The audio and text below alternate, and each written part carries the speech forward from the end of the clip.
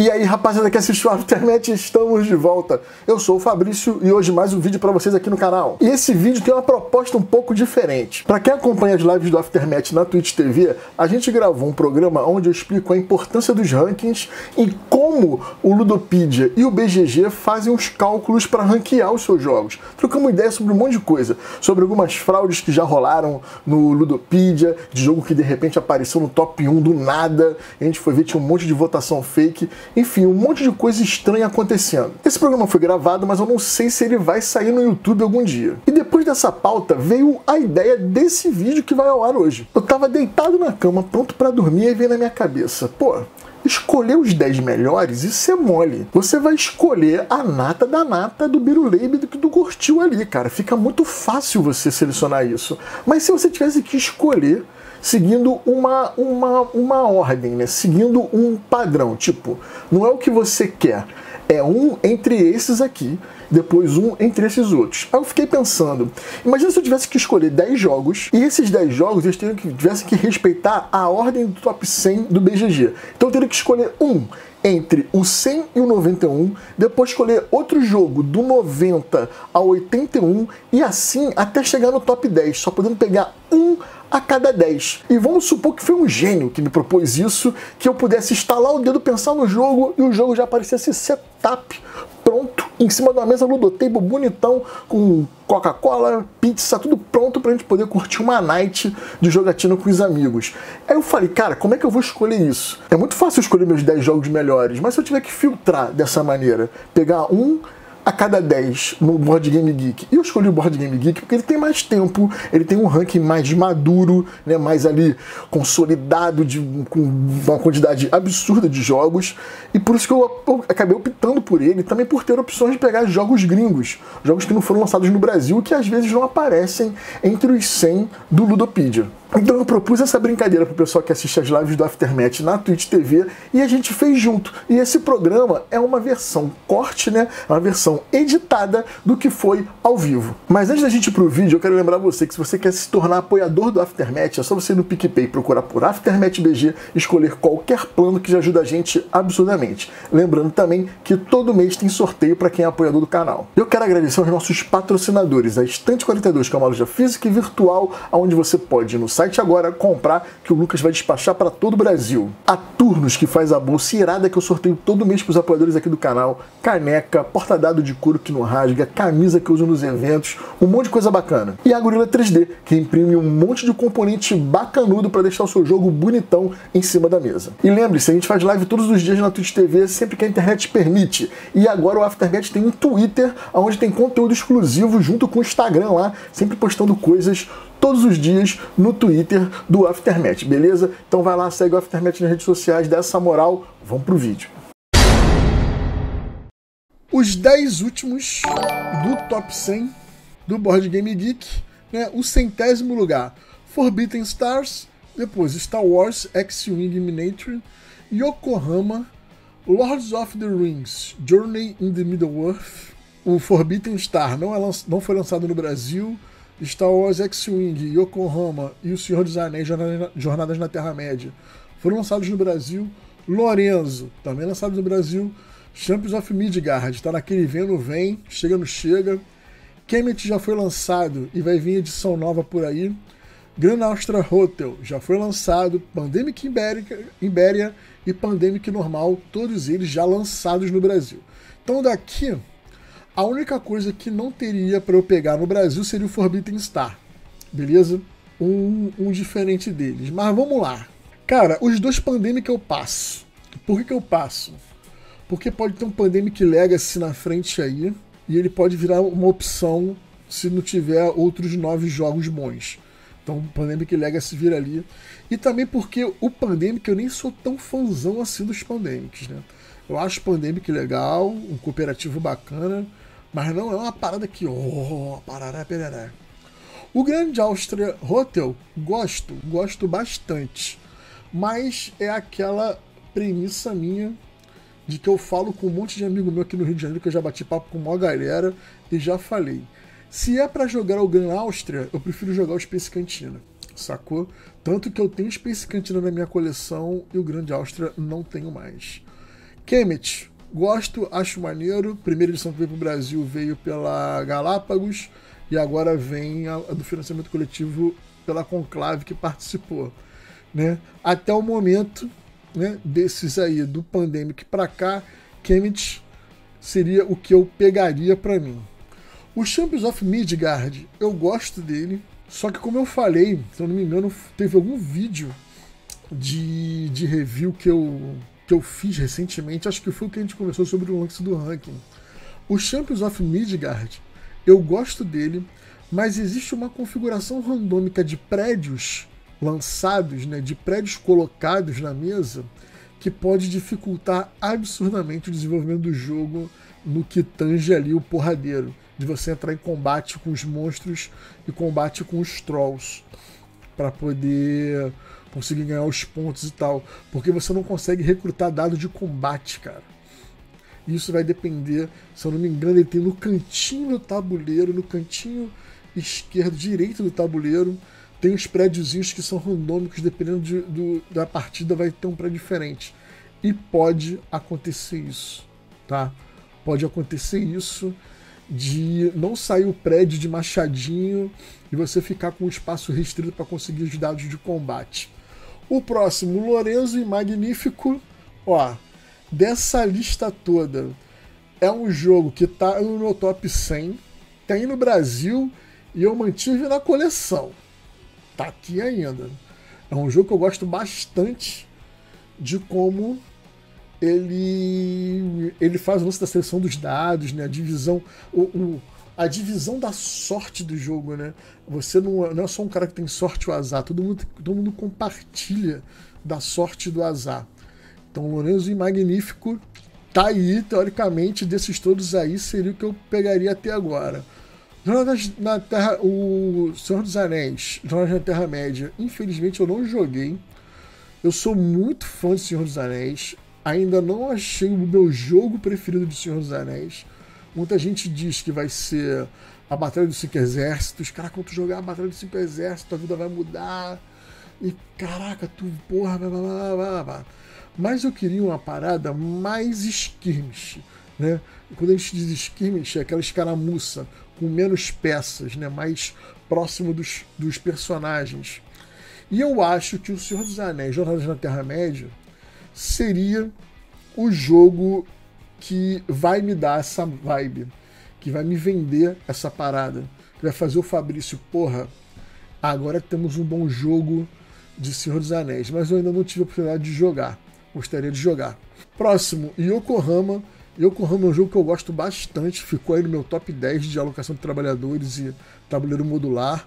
Gosto bastante dele. Não tenho ele, não é um jogo que eu joguei bastante depois de um certo tempo. A Fiel, a gente pegou Yokohama no financiamento coletivo.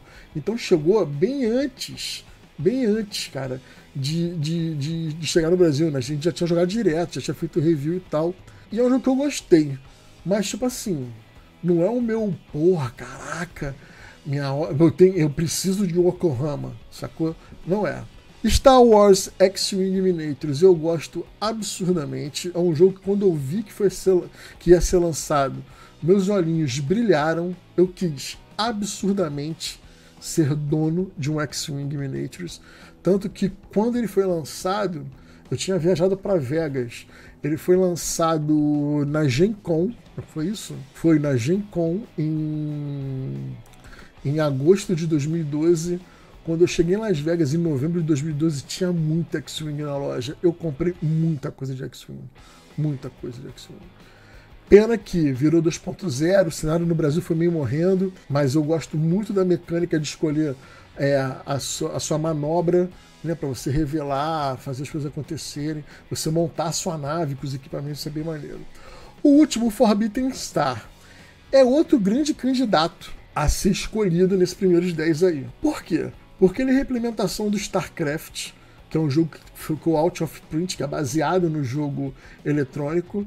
Né? O Forbidden Star é uma readaptação, uma reimplementação das regras do StarCraft e é baseado em Warhammer 40k. Ele só não é o, o, o must-have né, do Fabrício, porque não tem Necrons no, na caixa básica. Não tem Necrons. Porque se tivesse Necrons, não tinha deixado a Fiel vender. E como eu acabei de falar, já tive a oportunidade, de jogar o Forbidden Stars. É, o Márcio comprou na Fiel e a gente acabou vendendo por não ter gostado muito do gameplay do desenvolvimento do jogo. Eu fico numa dúvida muito grande entre dois, para ser bem sincero. O Lorenzo e Magnífico, que eu já sei que eu gosto, que é um jogo preferido meu, que é um baita jogo, e o Senhor dos Anéis, como experimento. Cara, eu, Fabrício, como jogador, eu pegaria o Lorenzo e Magnífico sem pensar. Era ele que eu ia pensar. Eu vou pegar. Mas eu tenho certeza que outros amigos meus pegariam o Lorenzo também. Kaká pegaria o Lorenzo, fácil. O Leandro Nunes pegaria o Lorenzo. O Lucas Amiuni, o Zé. O Zombie, gosta de rolamento de dado, mas eu não sei se ele pegaria. Mas o Zé e o Lucas eu tenho certeza que eles pegariam o Lorenzo. Então eu, Fabrício, Desses aí, eu vou escolher O Senhor dos Anéis, né? Jornadas na Terra-média.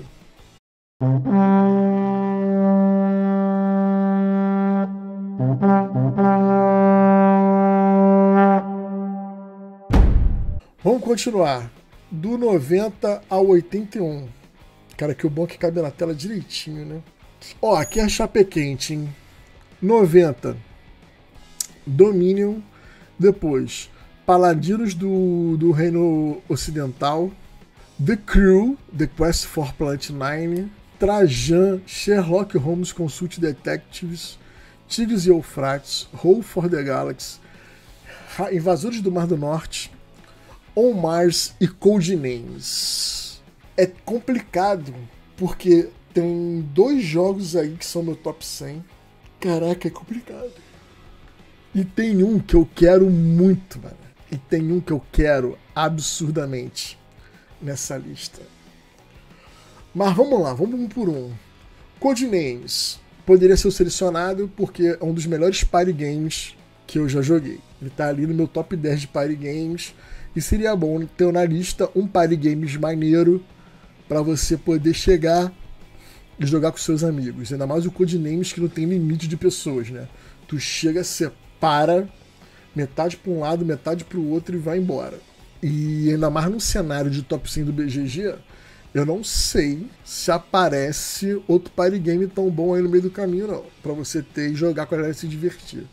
Próximo da lista, um grandíssimo candidato, eu diria talvez um candidato mais forte dessa, desses 10, que é o On Mars. Sou putinha do, do Vitor Lacerda? Sou. Quero o jogo? Quero o jogo. O preço é proibitivo? O preço é proibitivo. Mas quero. Quero jogar um jogo do Vital que seja de construção e expansão de uma, de uma civilização em Marte, de uma cidade marciana. É, se eu já jogo Lisboa, já fico maluco, imagina uma parada com ficção científica. Eu vou pirar. Próximo da lista, Invasores do Mar do Norte. Não é um jogo que eu gosto, já falei isso várias vezes. É um jogo que eu acho bem bacaninha, bem ok, mas não sou mega fã dele. Não sou mega fã. Acho muito interessante a mecânica de, de alocação dos trabalhadores, né? E da retirada deles para você poder ganhar os produtos e tal. Mas não é um jogo que me domina, não ele com certeza Riders of the North Sea não seria um jogo que eu selecionasse. Roll for the Galaxy. Gosto muito do Racing. Jogo o Roll for the Galaxy no, no Board Game Arena. Só que eu acho que ele é muito complicado. Ele não é um jogo muito palatável para mim. Eu não vou me sentir assim, confortávelzão, tranquilão, jogando um Roll for the Galaxy. Mas enfim, cada um com seu cada qual, né? Mas provavelmente não, não, não escolheria. Tigres e Eufrates já tem no Brasil. Não escolheria ele, porque eu quero jogar antes de, de, de poder escolher. Não joguei ele, não joguei. Tigres e Eufrates, por mais que já tenha aí.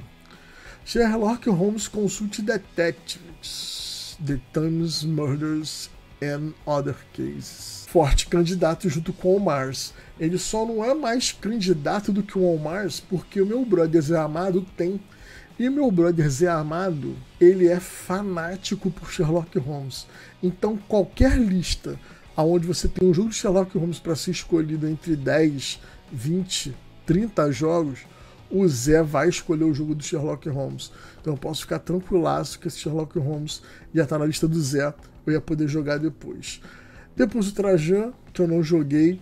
O The Crew eu não joguei, mas um monte de amigo meu jogou e fala que é sensacional. O Lucas Amioli tem uma frase muito séria: é impossível um jogo que seja sueca, cooperativa, seja bom.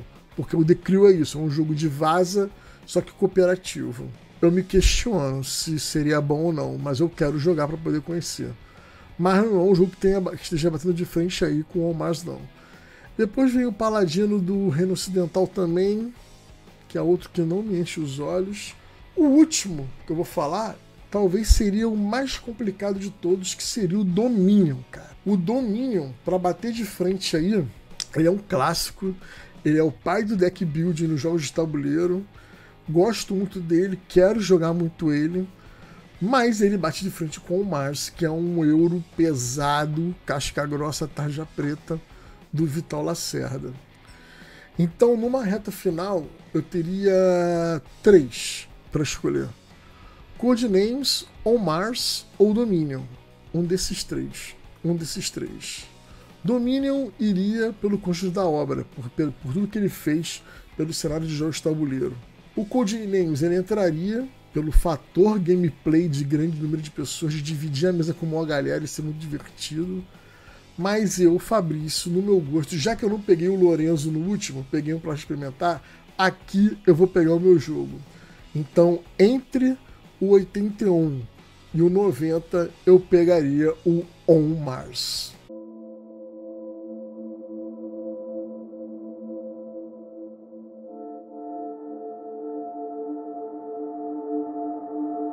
Então, ó, do 80 ao 71.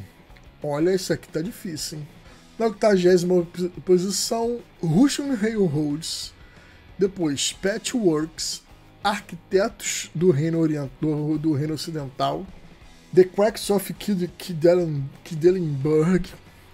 Battlestar Galáctica, Troia, Expansão do Domínio. Isles Ion, Ion Ends, Mombasa e Rising Sun. Cara, para mim é o mais difícil até agora. Né? Das duas que a gente escolheu, esse é o mais difícil. Rising Sun, ótimo controle de área, gosto absurdamente dele, ótimas miniaturas, é, mecânica de seleção de ações maneiríssimas, outro patamar de jogo. Você está acostumado a jogar vários jogos aí, mas a seleção de, de, de, de habilidades do, do Rising Sun é outra parada. Mombasa, seleção de ações, maneiríssimo, né? Alocação das ações, o esquema de voltar as cartas para a mão são sensacionais. Como já falei N vezes, algumas partes do tema me incomodam, eu não me sinto bem, o que não diminui nada em um jogo. A Elzend já chuto fora, não conheço no jogo e dificilmente vai ser algo brilhante que desbanque o Mombasa. Domínio Intrigue também não não entra numa de, de bater de frente com Mombasa. O Troyer talvez bata de frente com Mombasa. Eu gostei muito do Troyer, achei ele bem interessante. Só que agora já tem versão nova dele, Sci-Fi, tem uma reimplementaçãozinha dele aí. Então o Troyer poderia bater de frente com Mombasa, mas acho difícil. Battlestar Galactica, ele entra como um ótimo jogo cooperativo, um dos melhores jogos cooperativos que eu já joguei, com traidor, sacou? Mas como eu já peguei o Senhor dos Anéis lá atrás, que já é um cooperativo, eu não pegaria o meu terceiro pick um outro cooperativo. O The Quacks é um baita de um punch or luck, gostei absurdamente, é um dos poucos jogos que o Zombie comprou que é realmente bom, que se o Zombie sabe fazer, meu irmão, é comprar jogo ruim. Mas o The Cracks ele comprou e é muito bom, gosto bastante, mas não derruba o Mombasa. Arquitetos do Reino Ocidental, pô, meu irmão, o estagiário do Mombasa não faria o Arquitetos do, do Reino Ocidental. Patchwork, um dos melhores jogos para duas pessoas, poderia entrar nessa lista se eu estivesse procurando um jogo para duas pessoas. O Russian Railroads talvez seja o único daí que poderia tirar o Mombasa. Mas o Russian Railroads, ele é um jogo. Eu fico com o pé atrás dele absurdamente por causa do esquema de pontuação dele. Daquela parada de tu dar 50 voltas, tu tá no penúltimo round, tá 110 a 105. No último round vira 350 a 325, sacou? Eu acho bacana, como o jogo evolui, você contrata novos engenheiros para trabalhar para você, como é que você vai construindo as rodovias ali e o que, que você pode atender. Eu acho aquilo muito maneiro, mas ninguém tira o brilho do Mombasa. Então, nessa lista aí do 71 a 80, sem a menor sombra de dúvida, Mombasa.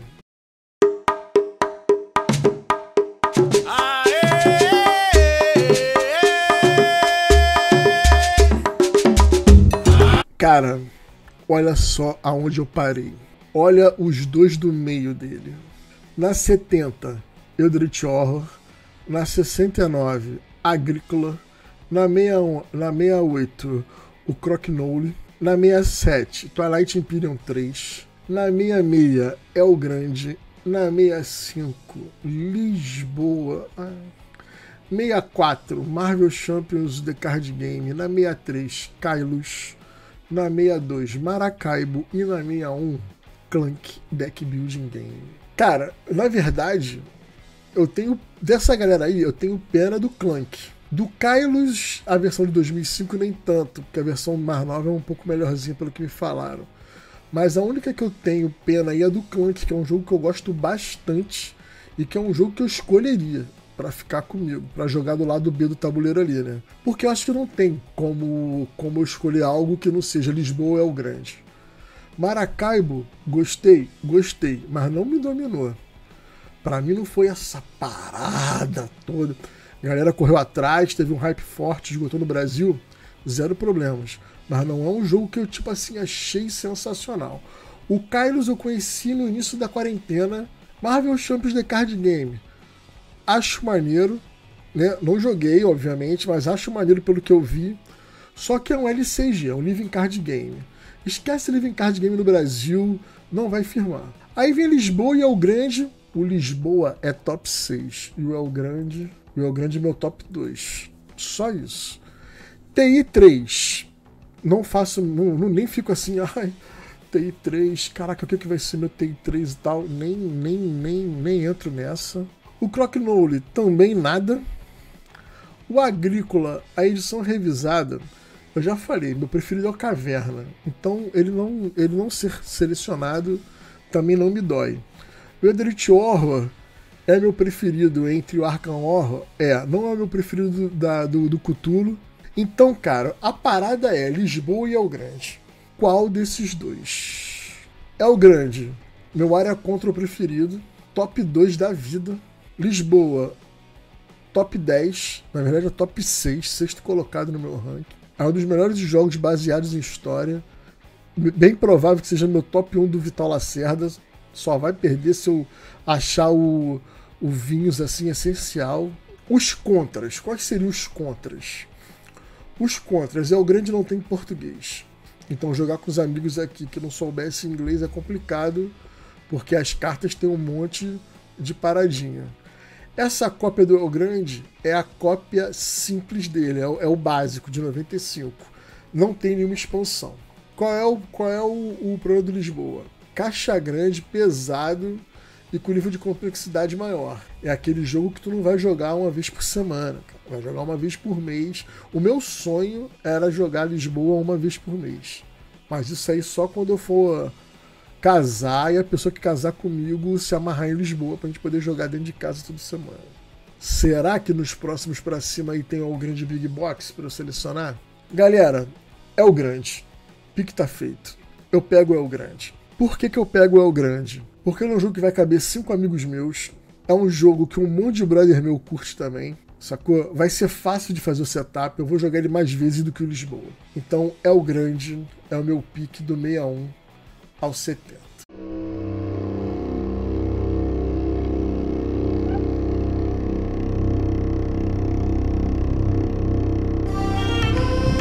No 60, Teotihuacan, depois Lords of Waterdeep, Five Tribes no 58, Clay Flowers, Clay Flower no 57, Too Many Bones no 56, Dominant Species no 55, Fields of Arler no 54, 53 The Gallerist, 52 Race for the Galaxy e no 51 Seven Wonders. Aqui é muito água de salsicha. tirando o Five Tribes, que é meu top 10 e que seria pique certo, o resto é meio tipo Seven Wonders. Beleza, tá no meu top 100. É um ótimo jogo para se jogar com bastante pessoas. Race for the Galaxy, um ótimo card game. O The Gallerist me abala, porque é o segundo jogo do Vital que eu vou deixar passar. É um jogo dele que eu gosto bastante. O Fields of Arlen eu não joguei, não. Não, o que eu joguei foi o War at Labora. Dominant Peace, nunca joguei. Talvez ele fosse um que. Oh! Caraca, vai deixar o Dominant Peace passar e tal. Too Many Bones, se eu não me engano, o Lucas Amiuni tem. Nunca joguei. K-Flower não me dominou, já joguei. Five Tribes é o único dessa lista aí que é meu top 10. Lords of Waterdeep selecionaria por causa da temática. Ele tem um apelo muito forte por ser baseado no universo do D&D e é um bom jogo, gostoso de jogar. Tenho jogado bastante a versão digital dele aí nessa quarentena. Gosto muito. E o último, Teotihuacan, que é um bom jogo. Quem desbancaria o Five Tribes, que é meu top 10? Cara, acho que pela primeira vez eu vou ter que pensar fora do meu top 10, do meu gosto pessoal. E como esse é meu 1, 2, 3, 4, meu quinto pick, então eu já peguei um cooperativo, que é o Senhor dos Anéis, Jornais na Terra-média, um pesadão On Mars, outro médio para pesado Mombasa, tudo 4 player, e peguei o El Grande. Se eu pegar o Five Tribes, é mais um jogo de 1 a 4 pessoas. Eu tenho que começar a pensar em ter ferramentas para jogar com mais pessoas e ter um jogo mais popular, né? mais family. Então agora eu vou de Seven Wonders. Eu abro mão do Five Tribes, que é meu top 10, que entraria fácil em qualquer pique meu, mas como eu tenho que escolher somente um e ter que ter isso na minha coleção para sempre para poder jogar com a galera, o jogo, o meu quinto pick é o Seven Wonders. Sem dúvida, Seven Wonders.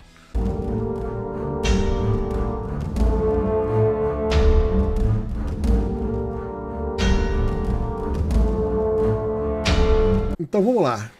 Do 50 ao 41. Cidades Submersas tem no Brasil. Android Netrunner não tem. Anacrone tá para chegar. Robson Crusoe tem no Brasil. 46 colocação, As Viagens de Marco Polo tem no Brasil. 45 Azul. 44 Eclipse. Depois Le Havre. Clãs da Caledônia também já foi lançado no Brasil. E Through the Ages, A Story of Civilization. Que tem o Anil Story já lançados no Brasil pela Devir. O TTA, esse aí é o mais antigo. O mais novo vai aparecer daqui a pouco aí. Clãs da Caledônia, grande candidato à vaga é meu top 20, gosto absurdamente dele. Um dos melhores jogos econômicos que eu já joguei. Pegaria a da Caledônia fácil. Pegaria a da Caledônia fácil. Pra mim é o cara que tá ganhando aí. Le Havre, gosto, acho maneiro. Na 4-4, Eclipse, que eu descarto completamente, tô nem aí. Azul, Azul abala a relação com Clãs da Caledônia. Que o Azul é um ótimo family game, é um ótimo jogo para chamar a família, para introduzir a família nos jogos. É bonito pra cacete mas, cara, não derrubo clãs, né? Do jeito que eu sou tarado por jogo mais pesadinho, médio para pesado, eu pegaria o Clãs da Clanana até agora. Linhagem de Marco Polo, preciso rejogá-lo. Robson Crusoe, cooperativo, já peguei lá. O... Eu vou botar sempre na conta da Terra-média quando aparecer algum cooperativo, já perceberam isso, né? Mas o Robson não consegue tirar o Clãs da Caledônia. Agora, talvez o único que pudesse bater de frente com o Clãs da Caledônia é o Anacrone que para mim é um dos melhores jogos que utilizam viagem no tempo como mecânica e entrega isso numa perfeição absurda. E o Anacron que tá para chegar no Brasil aí, né? Android Netrunner, talvez eu pegasse o Viagem de Marco Polo antes do Android, só para poder experimentar e ver se eu gostei não. Cidades Submersas, joguei uma vez, joguei até com Kaká, achei interessante, achei maneiro, mas nada que me dominou muito não. A minha dúvida nessa lista, nesses 10 aí, ficaria entre o Anacrone e o Clãs da Caledônia. O Clãs da Caledônia sendo um puta jogo econômico muito bom e o Anacrone sendo um baita jogo de alocação de trabalhadores. Cara, não vou inventar. Aqui é fazer o básico, o pique safe, aquele pique que tu vai pegar ali, vai garantir, vai ficar lá, vai ficar parrudinho porque é pesado pra cacete dentro da caixa. Clãs da Caledônia é meu sexto pique. do 41 ao 50. É o Clãs da Caledônia que eu pego.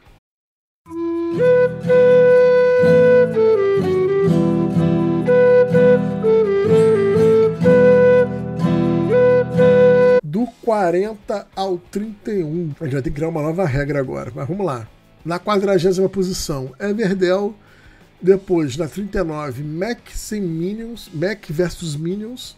Depois, Star Wars Imperial Assault, T-Shoken, Power Grid, Kingdom Death, Root, Pandemic Legacy Season 2, Blood Rage e Mansions of Madness. Bem, Mansions of Madness eu já tiro da fila, mais uma vez botando na conta do Jornadas na Terra-média que tem lá. Blood Rage talvez entrasse se eu não tivesse pego o Rising Sun lá atrás. Mas como eu já tenho o Rising Sun, não vou pegar o Blood Rage. Não vai chegar e botar na rede social. Fabrício disse que Blood Rage é cópia do Rising Sun. Eu não estou falando isso. Eu estou falando que o Rising Sun já dei o pique. Já peguei e sou feliz por ter escolhido ele lá atrás. E eu não escolheria o Blood Rage agora caso não tivesse pegado o Rising Sun lá atrás. Porque ele entra na conta do El Grande. Já eu peguei o El Grande e preciso de mais controle de área. Pandemic Legacy Season 2 ou Pandemic, aquele esquema que eu falei. Não peguei o Pandemic lá atrás, mas como já tem o Season 2 aqui, talvez seja uma oportunidade eu pegar e acabo conhecendo o Pandemic Legacy.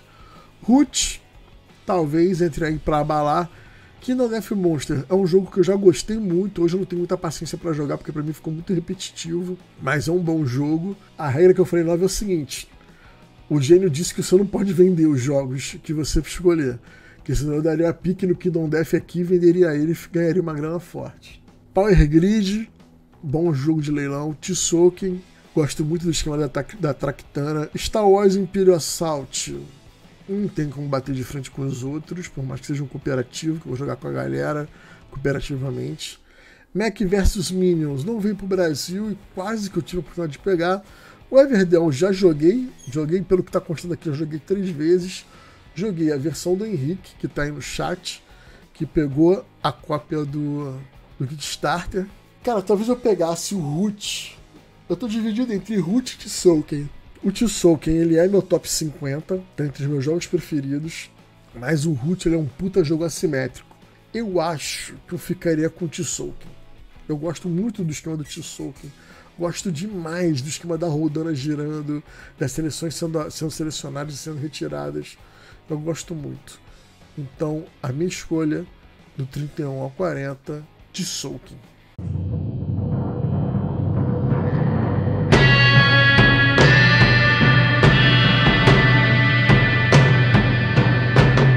Do 30 ao 21. Caraca, outra pedreira aqui. Agora, maluco. Agora vai dar ruim. Trigésima posição, Nemesis. Vigésima nona, Agrícola. Depois, Food Chain Magnate, Caverna, Porto Rico, Mage Night Board Game, Orleans, The Seven Continents, Fist for Ordin e o meu queridíssimo Viticulture. Esse oitavo pick, eu pensei que o primeiro pick só que a chapa ia esquentar, o segundo e o primeiro.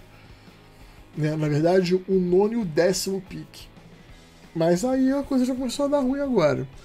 Bem, de cara, eu já posso eliminar Fish, Fish for Odin, que eu não joguei. Seven Continents, que eu joguei e achei bem, bem, bem ok. Porto Rico. Porto Rico não, Orleans. Esses três aí. O 22, o 23 e o 24 já sacode. Dificilmente eles vão bater de frente com alguém. O agrícola normalzinho também vaza. O Nemesis ele entra como uma ótima opção cooperativa semi-cooperativa, com uma imersão absurda. Food Team Magnate é aquele jogo que tu vai tirar onda na coleção e falar: Caraca, olha só esse jogo tarja preta que eu tenho aqui. Eu sou sinistrão. Então talvez eu ficasse com Food Team Magnate. Caverna, gosto muito. Porto Rico, gosto muito. Mage Night Board Game, acho bem ok, bem tranquilão. E ele tem o Viticulture essencial lá em cima, cara. O Viticulture, ele junta a logística do food chain com a produção do agrícola. Então eu já posso cortar esses dois se eu ficar com Viticulture. Nemesis Caverna entra na produção do Viticulture também. Porto Rico Mage Night é muito maneiro, né? Mage Night ele é assim épico. Né? A forma de jogar dele é épica. Inclinado a pegar o Nemesis, já que o último co-op bom que eu peguei foi o Senhor dos Anéis. Vai que eu não gosto do Senhor dos Anéis. Só que esse Viticulture tá me chamando. Fabrício, é o Viticulture Essential Edition. Vem cá me ver, vem, vem cá me tocar. Vamos de quê? Porque se ficar ruim, eu vou botar na conta de vocês no vídeo. Viticulture é muito mais eu. Viticulture é mais euro, é mais quem tá aprendendo a jogar e tal. Fazer as cadeias de ação, se programar para a segunda parte do jogo. É Viticulture Essential Edition. Sem a menor sombra de dúvida.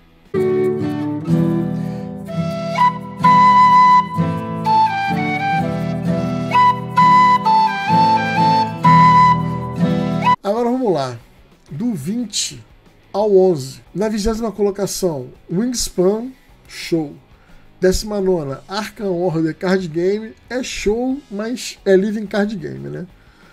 Brasleckenshire, Concórdia, Seven Wonders do Terra Mística, The Castle of Burgos, Spirit Islands, War of the Rings Second Edition, não é esse que vocês estavam falando que talvez fosse o jogo que eu curtisse?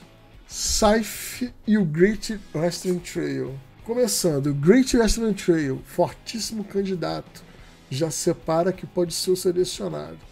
Scythe, não tenho mais paciência, não tenho mais saco para jogar Scythe, do fundo do meu coração. É bom? É bom. Sem tabuleiro modular, não vejo como. War of the Ring, não joguei. Spirit Island, ótimo cooperativo. Castle of Burgund, puta jogo. Terra Mística, puta jogo. Seven Wonders Duel, tu já pegou Seven Wonders lá atrás, se você pegar o Seven Wonders Duel, tem algum tipo de probleminha acontecendo aí. Concórdia, um baita jogo de sessão de ações. Joguei uma vez só a versão oficial nacional dele. Brass Lancashire, primeiro jogo da série Brass nova, pode ser meu voto. Arcanor, The Card Game, achei uma puta ideia, mas não funcionou porque também é um esquema de Living Card Game e um abraço. Wingspan, sucesso do ano passado, na vigésima colocação. E aí, Fabrício? Meu top 1 tá aí, Terra Mística. Por que, que os outros tirariam o trono do Terra Mística de selecionado aí, galera? Eu vou ser bem sincero, GWT e Castle of Burgundy estão ali, ó. Brás também, ó. Estão ali pra, tipo assim, Terra Mística. Dá dois tapinhas nas costas. Obrigado aí, cara. Vai lá, vai lá, vai lá. Depois eu te ligo aí pra te fazer umas paradas. Será que o Gaia tá no próximo? Acho que o Gaia tá no próximo, né? Então não vou botar o Terra Mística, não. Eu vou colocar aqui o Brass Lancashire.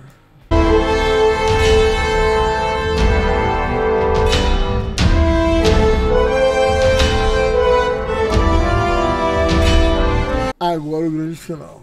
É, na verdade, o Great Western Trail não entrava nesse outro, morreu no 11. Mas daqui, ó.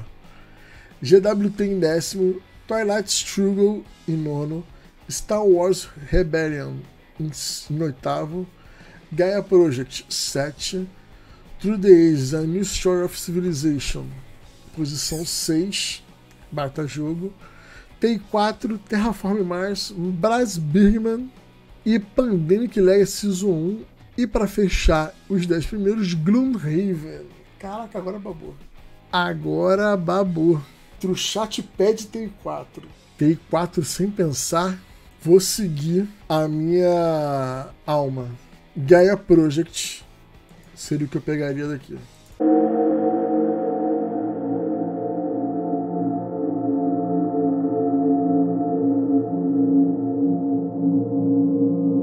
Já que eu não peguei na outra, eu pego agora, né?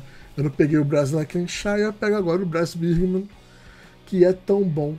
Opa, é, não peguei o Terra Mística na outra, pego o Gaia Project agora, que é meu top 1 de verdade. Gente, é mais difícil que eu pensava, cara. Pensei que ia ser mamatinha, não, tranquilinho. Tudo coisa boa, tudo que eu gosto. Difícil.